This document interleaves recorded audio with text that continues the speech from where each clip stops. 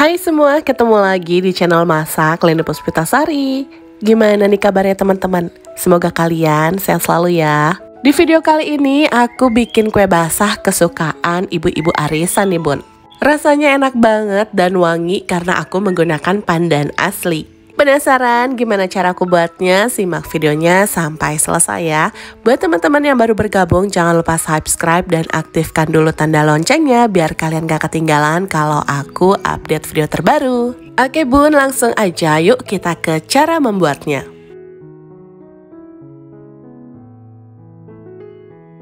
Yang pertama, siapkan wadah, masukkan 200 gram tepung beras dan 50 gram tepung tapioka. Tambahkan juga dengan 180 gram gula pasir, 1 sendok teh garam, dan 300 ml jus pandan. Ini diaduk dulu sampai tercampur rata.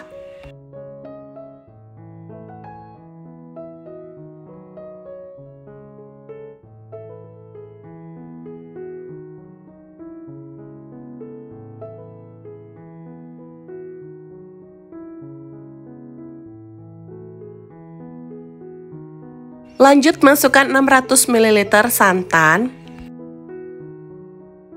Biar warnanya agak sedikit cerah, aku tambahkan sedikit pasta pandan. Kemudian diaduk lagi sampai tercampur rata.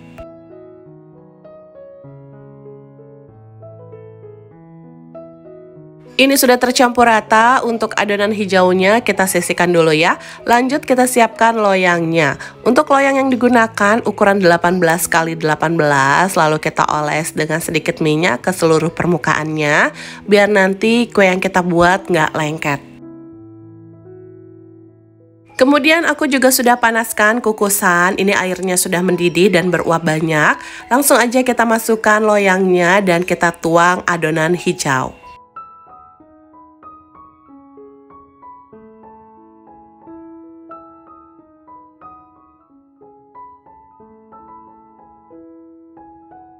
Biar kue yang kita buat nggak bolong, gelembung-gelembung yang di atas ini kita singkirkan dengan menggunakan sendok seperti ini aja bun.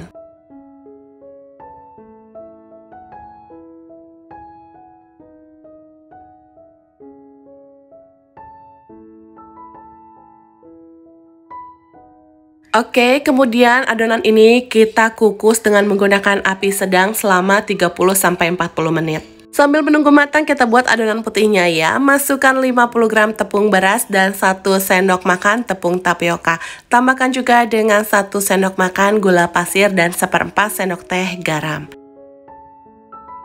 Masukkan 250 ml santan, kemudian diaduk dulu sampai semua bahan tercampur rata. Ini sudah tercampur, kita sisihkan dulu ya. Sekarang kita cek adonan hijaunya sudah matang atau belum. Ini adonan hijaunya sudah matang bun, sekarang bisa kita masukkan dengan adonan putihnya. Jangan lupa sebelum kita tuang, adonannya diaduk terlebih dahulu ya.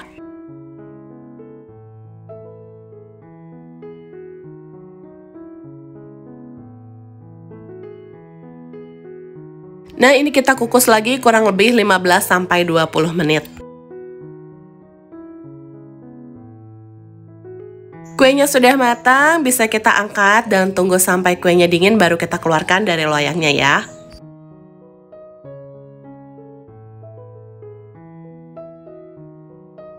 Kuenya sudah dingin, gak panas lagi. Sekarang kita bisa keluarkan dari loyangnya.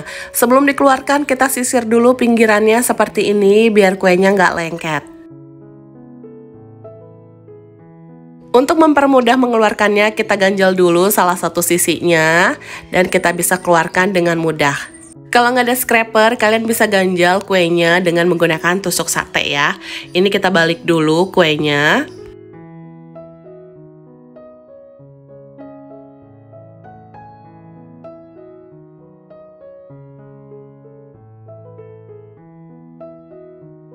Untuk memotong kuenya, di sini aku bagi dulu menjadi tiga bagian seperti ini bun, dan satu bagiannya aku potong menjadi 10 potong. Nah ini warna kuenya cantik banget dan aroma pandannya wangi banget.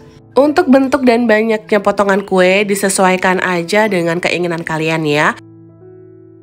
Kalau untuk isian snack box atau ide jualan, ini bisa dikemas menggunakan plastik OPP seperti ini bun. Plastik OPP, plastik yang seperti undangan itu yang ada lemnya, jadi gampang banget kalau kita buat kemas kue. Ini dia bun, kue talam pandannya sudah jadi, rasanya enak banget. Kalian bisa lihat warnanya juga cantik.